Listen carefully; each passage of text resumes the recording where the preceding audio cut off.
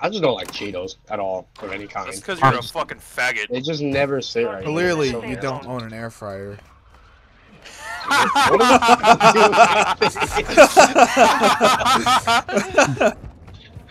What the fuck?